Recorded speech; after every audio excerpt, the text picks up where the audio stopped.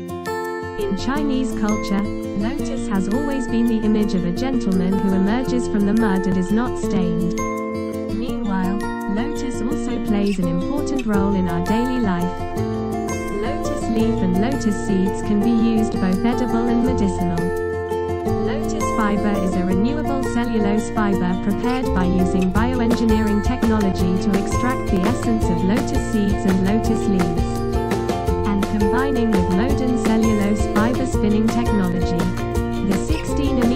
acids contained in lotus fiber are natural moisturizing factors that lock the skin's moisture and make the skin full of vitality. And plant polysaccharide has natural antibacterial effect. Triple A level antibacterial protects whole body health. The active substances in lotus leaves make lotus fibers release negative oxygen ions at all times.